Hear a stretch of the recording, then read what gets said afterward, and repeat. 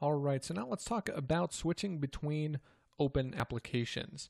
Now, there are multiple ways that you can do this. Of course, down in the taskbar here, you can see the apps that are running.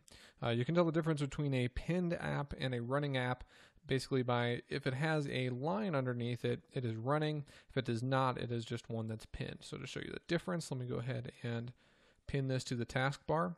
So these two are running, and you can tell because they have that line under them, whereas the Xbox app does not. So if you're running an app in full screen, let's go ahead and open up Internet Explorer. So this is running in full screen. If I want to switch to another app, all I have to do is just click on the taskbar icon, and that's going to be brought to the front. And then clicking on the settings app, of course, that's going to be brought to the front as well. Now, if you have multiple applications open and your screen is getting a little bit cluttered, there are two ways that you can clean things up so that it's easier to use the application that's currently in the forefront. First of all, you could maximize the window so that it takes up the entire area of your Windows screen.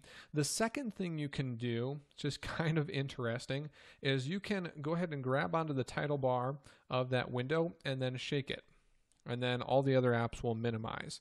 So it's not a very well known or used feature, but that is something that you can do. Now, in addition, you have something in Windows 10 called Snap Assist. If you grab a window by the title bar and then slide it over to one side, and then release your mouse cursor, it will show you the other apps that are open. And all you have to do is click on that application and it will fill in the remaining space.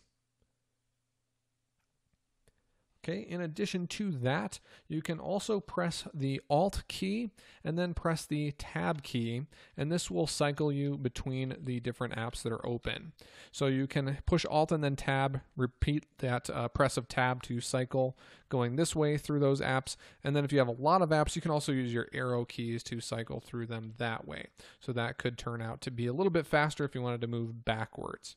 So that is another way that you can do that. Now you can also press the Windows key and then tab, and that will take you into this sort of Exposé mode. It takes you into what, what Microsoft is calling task view. If you come from a Mac, this is very similar to what Mac calls the uh, Exposé or the um, control view. So once you're in this view, all you have to do is click on the app that you want to have open, and then it, it will take you right to that application.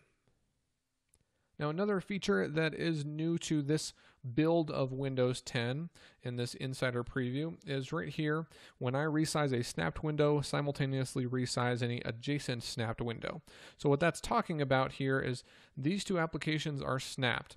If I have this turned off, when I resize the settings window, it just goes right over the top of the Outlook calendar application. Now you can also resize apps by snapping them into the corner. So that's another option that you have there. Now, depending on the size of your screen, this may not make a whole lot of sense to do, but the option is there for you nonetheless. If at any point you just want to minimize all of the windows so you can see your desktop and kind of get a clear picture of what's going on, you can bring your mouse cursor down to the bottom right corner and then click, and it's going to minimize all of the open windows. So that is multitasking.